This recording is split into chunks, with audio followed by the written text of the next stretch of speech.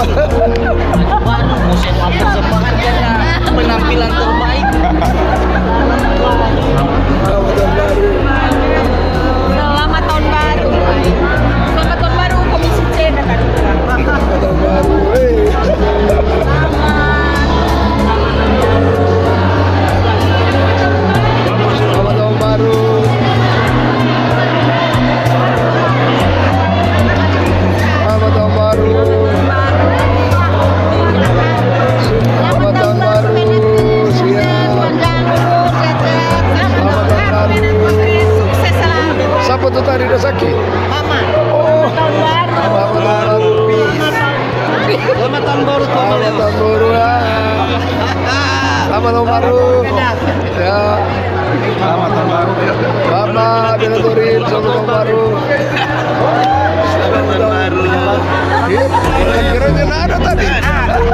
Baru sampai. Karena karena rekening bakunya. Bahaya. Ya. Rekening bakunya. Bahaya. Ya tahun baru. Selamat tahun baru. Yunus tahun baru.